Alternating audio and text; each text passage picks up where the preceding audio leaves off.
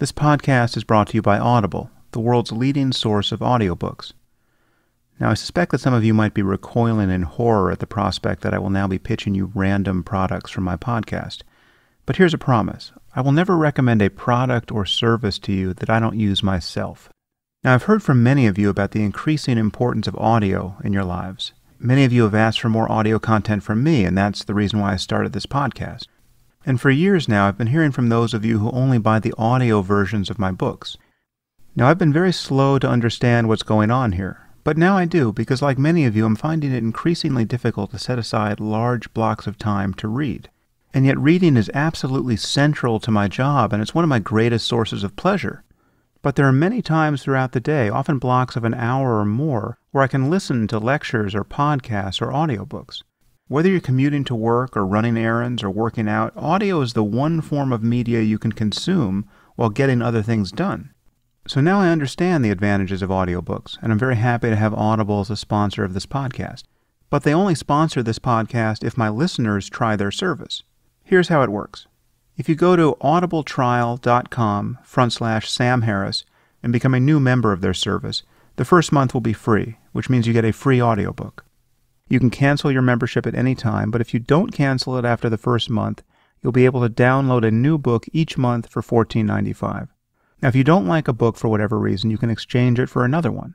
So there really is zero risk of disappointment here. You can try a membership for one month for free and get a free audiobook, even one of my books, like Waking Up. Then you can cancel this membership, keep the book, and you won't be charged a dime. And even if you wind up canceling after this first free month, you will still have supported this podcast. But if you continue to use the service, as I think you will, you can return any books you don't like and exchange them for new ones. It's a great service, and I think you'll like it as much as I do. In fact, when I really want to get a book into my brain these days, I usually buy the print or electronic edition and the audio, so I read it when I can read it, and I listen to it at other times throughout the day. It's just incredibly efficient and enjoyable. So if you'd like to support this podcast, please give Audible a try at audibletrial.com forward slash Sam Harris.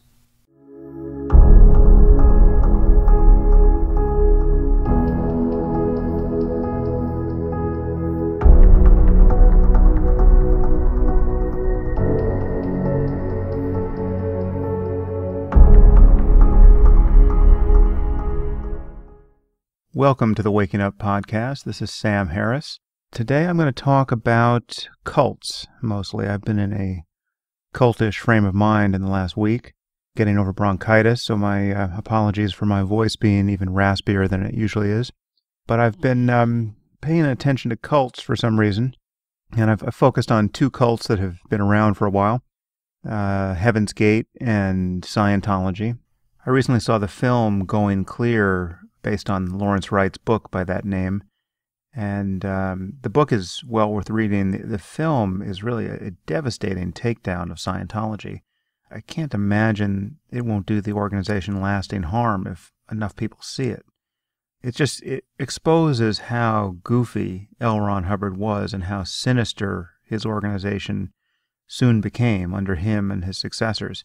So uh, do see that film it's playing on HBO and had some theatrical release as well. But I've mostly been thinking about the Heaven's Gate cult, which, as you might recall, about 18 years ago, came to the world's attention because 39 members, including the chief member, a man named Marshall Applewhite, uh, who was known as Do to his devotees, all took their lives in a mansion near San Diego. They all donned identical pairs of Nikes and drank a cocktail of phenobarbital and vodka, I believe, and then got in their bunk beds and covered themselves with purple shrouds and departed, they imagined, for a spaceship that was following in the tail of the comet Hale Bopp. So this was a rather horrifying and peculiar news item. I, I think it remains the largest mass suicide in U.S. history although I recall my reaction to it at the time was a little bit less than reverential. I remember sitting on my couch watching this first footage that came out of this house of everyone in their bunk beds with their Nikes and hearing the voiceover announcer say, and in their freezer, they had nothing but quart after quart of Starbucks Java chip ice cream. And I remember sitting on my couch alone and saying out loud to myself, wait a minute, Starbucks makes ice cream? And, and then I leapt to my feet and drove straight to the supermarket and uh, bought some Starbucks Java chip ice cream. So, um, so I, I guess we all draw from certain tragedies the, the lessons we need at the time. Uh, obviously, I've become more sympathetic with the plight of these people in the intervening years and more interested in the phenomenon of cults and have drawn uh, other lessons from this one. In any case, the most fascinating thing about Heaven's Gate is that the members of this class, as they called it, left final video testimonies as to why they were doing what they were doing and how satisfied they were to be doing it. And this is, of course, analogous to the video testimonies one often gets from jihadist suicide bombers. But these were people who were really aware of how inscrutable their behavior was going to seem to their loved ones and to the rest of the society in which they were living. And they really made their best effort to defend their actions, if not explain them, and to, to simply bear witness or, or demand that the world bear witness to the psychological fact that they were absolutely unconflicted in doing what they were doing. They just felt immense gratitude for the experience of living for decades with their other cult members with whom they had formed an obvious bond, uh, and for the guidance of Do and Ti, the, the woman who had been his partner, who had died a decade earlier. And uh, these were people who, for the most part, were clearly happy and approaching their deaths with genuine enthusiasm. They were, they were gleeful about the prospect of departing this world and arriving elsewhere in the galaxy. So these videos are really an amazing document, and I was tempted to put some audio uh, in this podcast, but it, there, there really is no substitute for seeing the videos themselves. So I will embed those on my blog, and um, there's about two hours of video.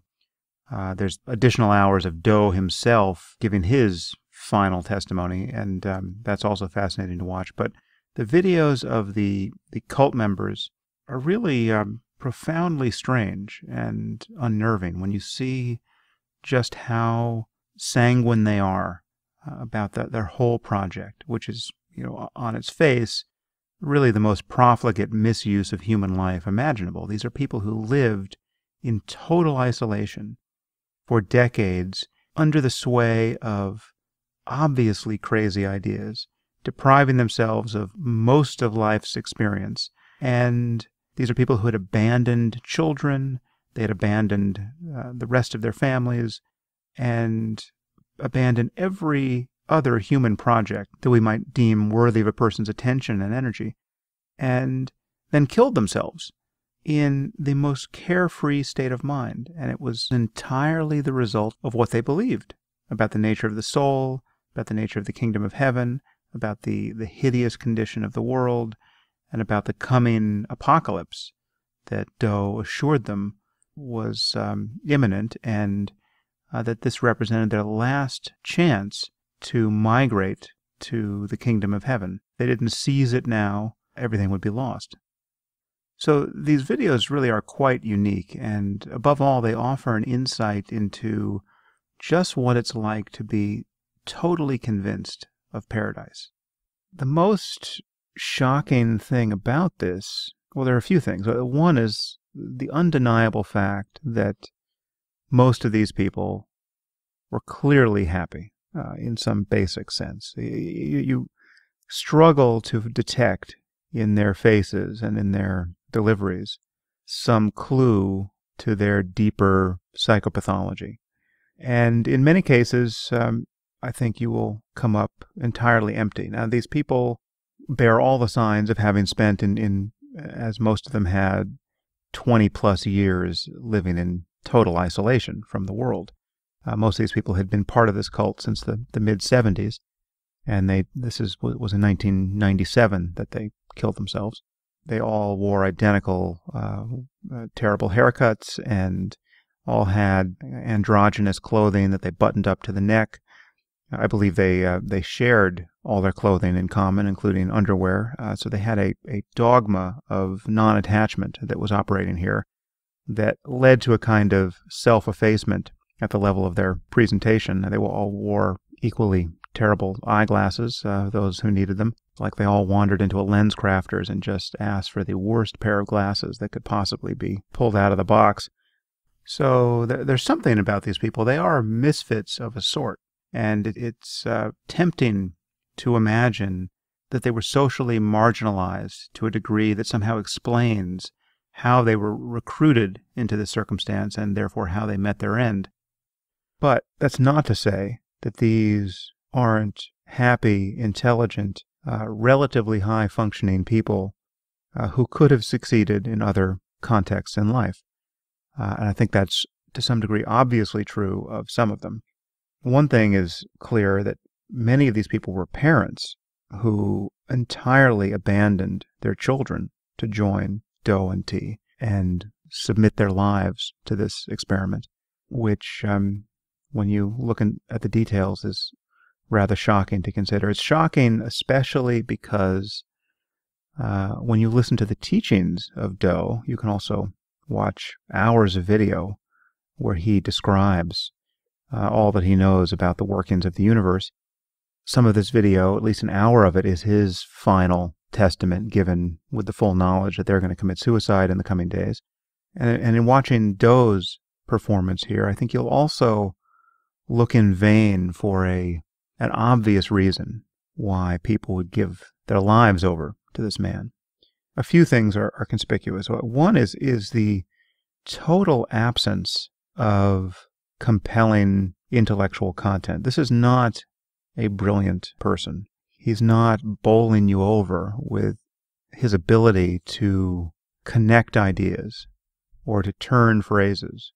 Uh, the only clue to his powers of mesmerism is um, his quality of eye contact, which, as I discuss at one point in my book, Waking Up, is some is a feature you find in gurus in general and in people who are making heroic efforts to persuade. And in Do, this is this is conspicuous. The man rarely blinks. He's looking at a camera lens for this video, but one can well imagine that this is the style of eye contact he used when talking to people directly. Maybe I'll offer a brief digression on this topic. There's actually a section in my book, Waking Up, where I talk about eye contact, and uh, I'll just read it to you. A person's eyes convey a powerful illusion of inner life. The illusion is true, but it is an illusion all the same. When we look into the eyes of another human being, we seem to see the light of consciousness radiating from the eyes themselves. There's a glint of joy or judgment, perhaps. But every inflection of mood or personality, even the most basic indication that a person is alive, comes not from the eyes but from the surrounding muscles of the face. If a person's eyes look clouded by madness or fatigue, the muscles orbicularis oculi are to blame. And if a person appears to radiate the wisdom of the ages, the effect comes not from the eyes but from what he or she is doing with them. Nevertheless, the illusion is a powerful one, and there's no question that the subjective experience of inner radiance can be communicated with the gaze. It's not an accident, therefore, that gurus often show an unusual commitment to maintaining eye contact. In the best case, this behavior emerges from a genuine comfort in the presence of other people, and a deep interest in their well being. Given such a frame of mind, there may simply be no reason to look away. But maintaining eye contact can also become a way of, quote, acting spiritual, and therefore an intrusive affectation. There are also people who maintain rigid eye lock not from an attitude of openness and interest, or from any attempt to appear open and interested, but as an aggressive and narcissistic show of dominance. Psychopaths tend to make exceptionally good eye contact. Whatever the motive behind it, there can be a tremendous power in an unwavering gaze. Most readers will know what I'm talking about, but if you want to witness a glorious example of the assertive grandiosity that a person's eyes can convey, watch a few interviews with Osho. I never met Osho, but I've met many people like him, and the way he plays the game of eye contact is simply hilarious. I confess that there was a period in my life after I first plunged into matters spiritual when I became a nuisance in this respect. Wherever I went, no matter how superficial the exchange, I gazed into the eyes of everyone I met as though they were my long lost lover. No doubt many people found this more than a bit creepy. Others considered it a stark provocation. But it also precipitated exchanges with complete strangers that were fascinating. With some regularity, people of both sexes seem to become bewitched by me on the basis of a single conversation. Had I been peddling some consoling philosophy, or been eager to gather students, I suspect that I could have made a proper mess of things. I definitely glimpsed the path that many spiritual impostors have taken throughout history. Interestingly, when one functions in this mode, one quickly recognizes all the other people who are playing the same game. I had many encounters wherein I would meet the eyes of a person across the room, and suddenly we were playing War of the Warlocks, two strangers holding each other's gaze well past the point that our primate genes or our cultural conditioning would ordinarily countenance. Play this game long enough and you begin to have some very strange encounters. I don't remember consciously deciding to stop behaving this way, but stop I did. In any case, I think Do was probably a master of the unblinking gaze, and this may account for why he had the effect he did on people, because I can tell you, having read some of his writing, if you can call it that, and listened to him speak about his doctrine, there's nothing in the text of what he says that should have compelled people to follow him, much less follow him into their graves. Uh, and he persuaded people to follow him with surprising suddenness. There's an account of one of his early meetings, I think in the in the early 70s, where something like 20 people from a single lecture dropped their lives and disappeared from Portland or Seattle or wherever this talk happened, leaving their kids and their parents and their friends just aghast, and followed this man into the wilderness.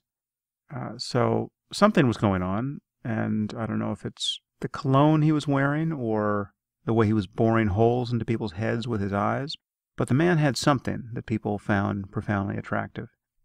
So I, I think I should just give a brief account of what Do was teaching people. Uh, he claimed to be an extraterrestrial who inhabited his body, the, the body of Marshall Applewhite, at some point in adulthood, and he also claimed to be the same uh, reincarnate personality who had been Jesus, and who had gathered apostles, many of whom were now in the, the Heaven's Gate class.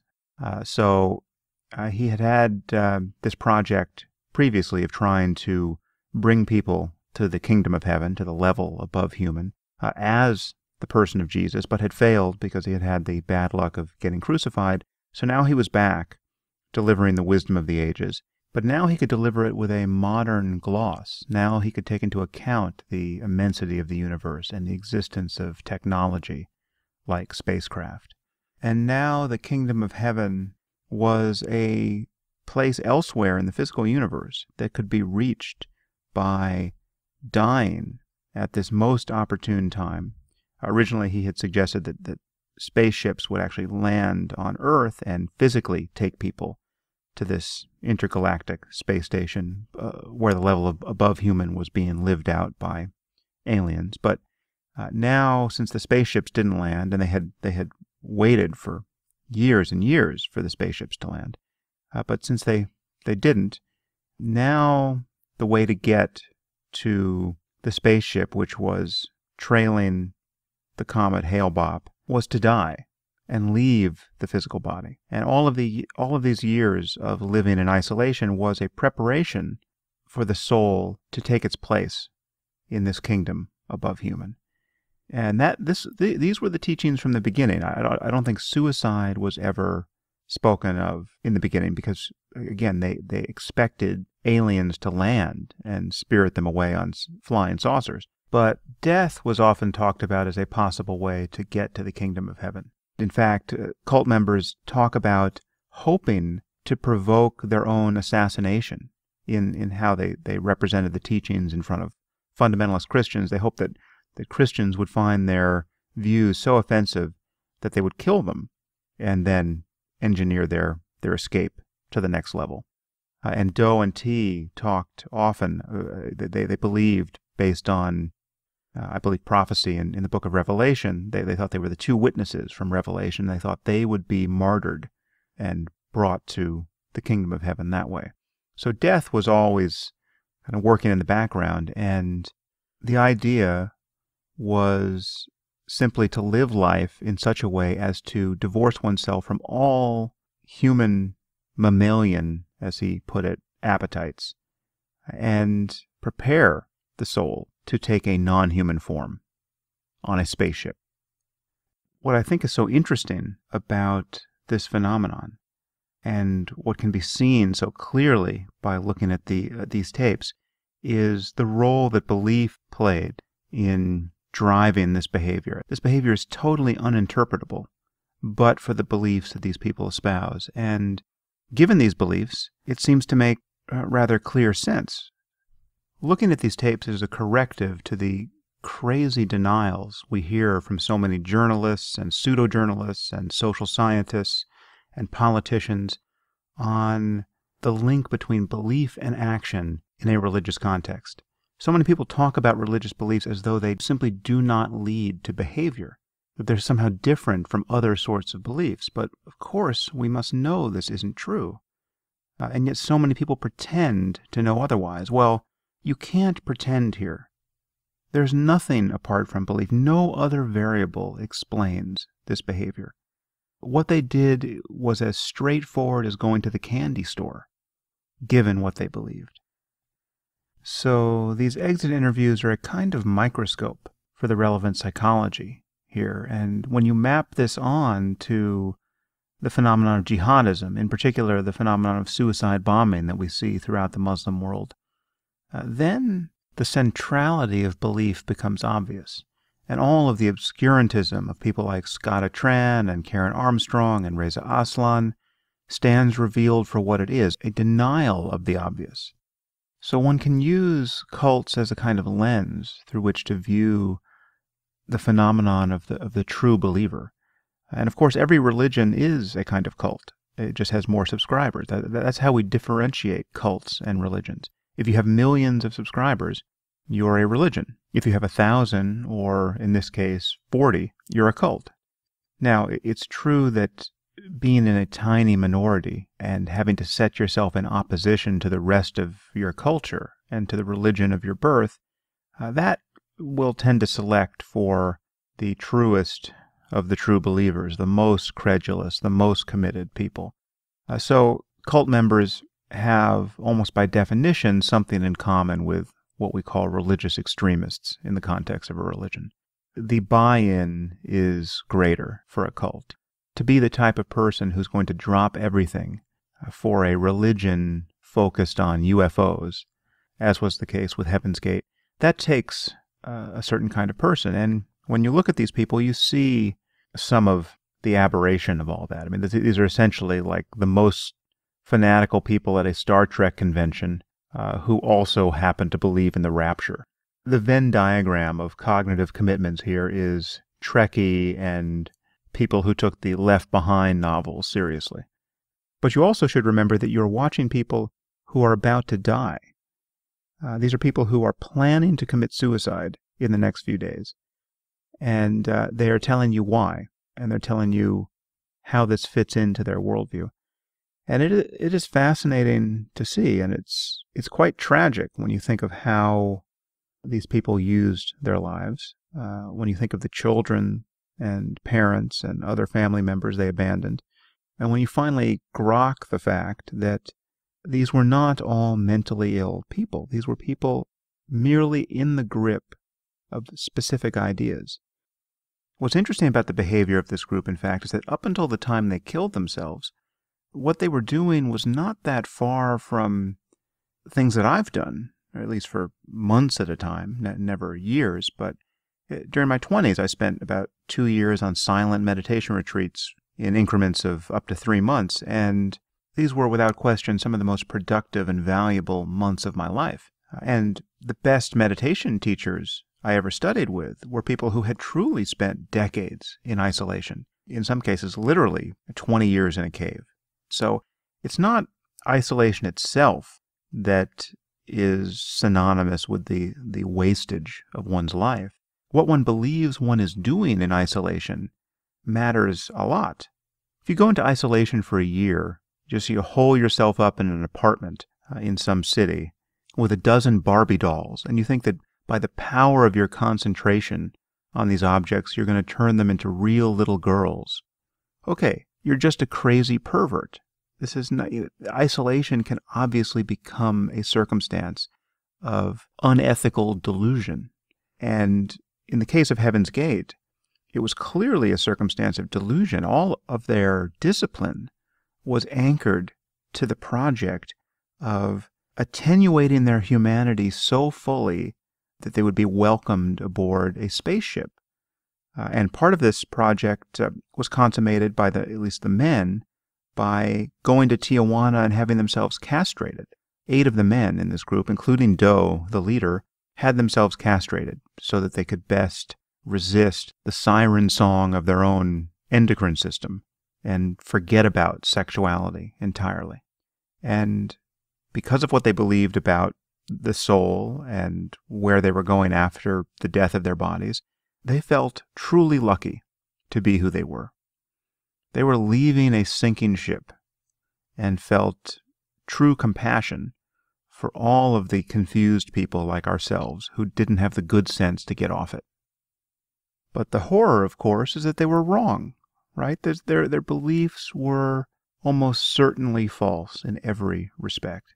And this is the, the horror of religion generally. This is the horror of Islamism and jihadism.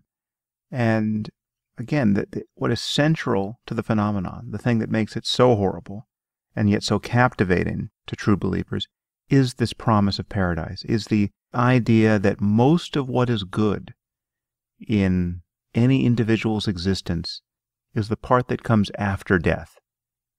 That is really the claim that just leaches all the value out of this world.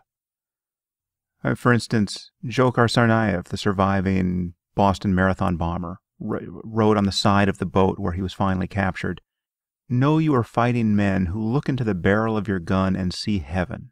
How can you compete with that? That's what we're dealing with this expectation of paradise. I recently read an interview with a former ISIS fighter, and he spoke about this same thing about being motivated by his concern for the afterlife, which he called, quote, the surest part of life the surest part of life. This is the thing you can most count on. This, this is the repository of most value. But of course, it's not the surest part of life. It's at best an hypothesis founded on nothing. But this is exactly the sentiment you get from the Heaven's Gate members. They're talking about how happy they will be when they finally get to the level above human, the kingdom of heaven. Look at what is going on in the Middle East. Look at the behavior of a group like ISIS. Look at the Western recruits who, by the thousands, are coming to fight alongside these guys. And recognize that whatever diversity of their backgrounds, whatever other variables we, we are told account for this behavior, simply realize that these people also believe what they say they believe. And that belief, in their case too, is the primary driver of behavior. And these, that these people, who now in the case of ISIS are murdering apostates and seeking to murder vast numbers of their enemies, these people are just as eager to die and just as unconflicted about the, the apparent misuse of their lives in this world, just as expectant of eternity as the class members of Heaven's Gate were. And when you have that epiphany, you'll be in a position to see how confused most people are by current events. So much of what passes for an analysis of Islamism and jihadism at this moment skates across this psychological fact or denies it outright, looking for other reasons for this phenomenon. And whatever contributions these other reasons might make, whatever contributions U.S. foreign policy or a legacy of colonialism or the lack of integration of Muslims in Western Europe might play. The basic fact, the fact at the, at the core of the phenomenon, held and held deeply, is the belief in paradise. The belief that death is an illusion and that this world, therefore, can be forsaken. In fact, its purpose is to be forsaken. And unless one has some countervailing philosophy that demands a truly ethical engagement with this world, it seems that a belief in paradise makes a person capable of anything. Nothing can go wrong. You can blow up crowds of children and you're doing them a favor. That's what makes this type of religious certainty so terrifying. And the impulse to deny its power, to deny that it is even operating, is more terrifying still. In lying to ourselves about the motivations of these people, we are sleepwalking toward a precipice. Perhaps it's time we all woke up.